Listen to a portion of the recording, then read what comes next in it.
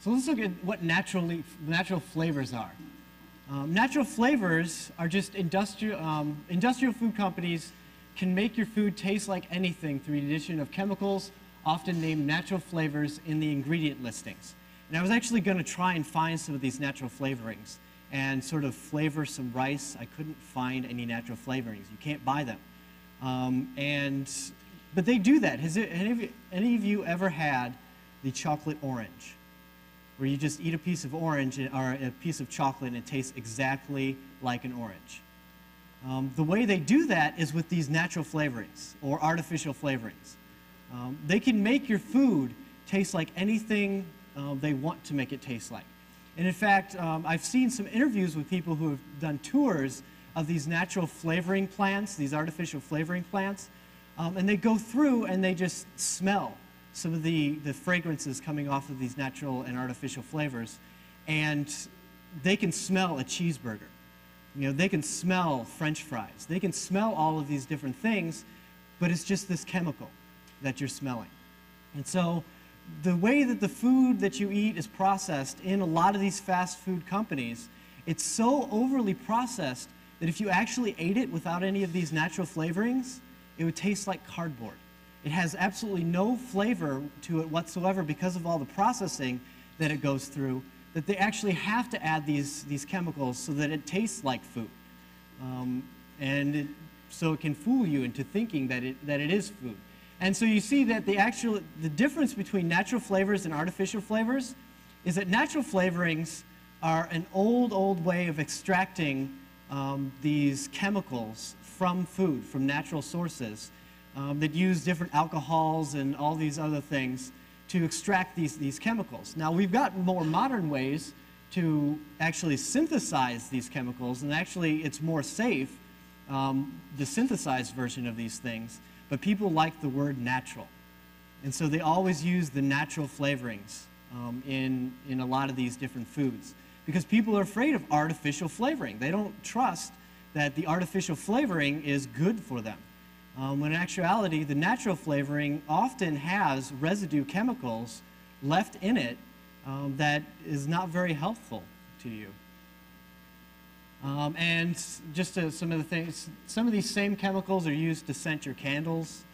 Um, if you go to Yankee Candle and get the cookie candle or the um, just other things, or, or your soaps that you've got. So these are the same chemicals that they're using in your food. So questions for discussion. Some of the things that um, I think are really important about this book here.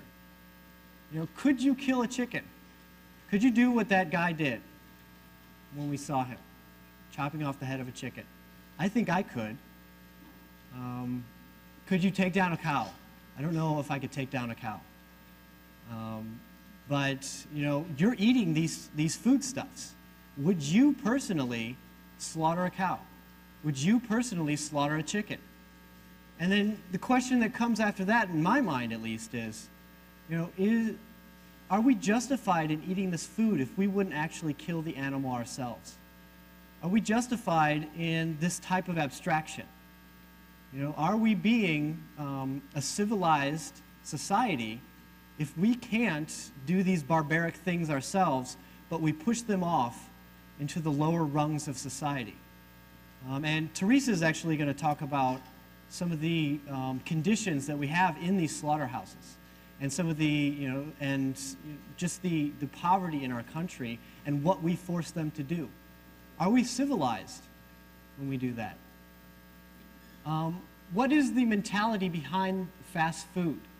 And do you see this in other parts of our society? So as we're reading this book, Fast Food Nation, um, ask the question, what is it saying about our society? You know, what is it saying about us that we, you know, would rather go to this fast food place, get our food instantly, um, instead of going to the grocery store and cooking ourselves a meal. It's probably more healthy for us. What is it saying about our society? And there are, other, are there other places in our society where we can see that same type of mentality? Um, are there other places where we want instant gratification? We want instant pleasure. Um, in fact, if you heard the song before lecture, Um, that's the title of it from Rufus Wainwright. Instant pleasure. What do we want in our society, and do we want it right now? Um, how do these choices actually affect a society? Do they? You know, are the choices you're making when you go to McDonald's actually forming our society? Or do they mean nothing to our society? Um, what other choices that you do make actually inform who we are as American citizens? you know, we were talking about, um, when we were talking about Vietnam, how, you know, what do we do when we can't make choices? What are we doing with the choices that we actually do make? And what are we saying about our society when we do make those choices? Um, how does the knowledge of the world around you give you choice? That was one of my thesis statements, that knowledge is choice. Um, going through this lecture and actually seeing some of these things, seeing where our food comes from, and looking at you know, the, the obesity in America, does that give you choice? Um, does that knowledge give you choice? Are you living an unexamined life if you don't seek this kind of knowledge? Are you daring to be wise? Um, is industrial farming a good thing or a bad thing? I tried not to say whether or not it was a good thing or a bad thing. Um, so it's up to you to decide and do the research. You know, I've only shown you just a small clip. Do more research. Find more knowledge. Make more choices. Uh, is it a good thing or is it a bad thing for our society?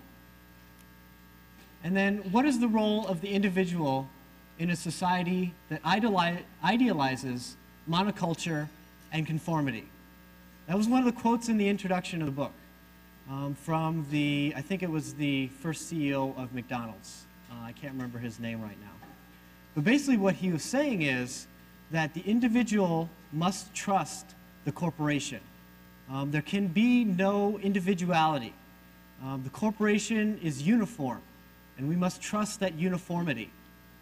You know, what does that say about our individual uh, personalities?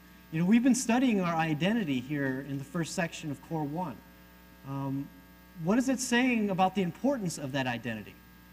Do we even need to discover what that identity is uh, if we're just going to be part of this monoculture, part of this conformity? Um, we could just let people tell us what to believe and what to do, and we'll just be cogs in a wheel. We'll be part of that factory farm. We'd be like in a very, very efficient ant farm or a very efficient beehive. You know, no individuals. We're all just working for the common good. Um, is that a good thing? You know, are we moving towards that in our society through this, uh, this mentality of a fast food nation? Are we moving towards that through this factory type farming?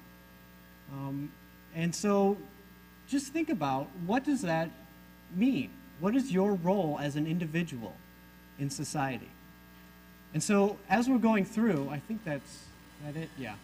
As we're going through um, this book here, we'll be looking at a lot of different things as far as, there's a buzzing sound that's bothering me. We'll be looking at a lot of different things um, in this book. And you'll be seeing a lot of different lectures about topics from this book. Um, ask these questions. Um, look for different theses in the book. Um, there's a lot of statistics in it. I know it's a hard book to get into because of all those statistics, but just plow through it and you might actually gain a little bit of knowledge about how your food is made and so you can make choices as an individual and you can form our society into what you want our society to be. Thank you.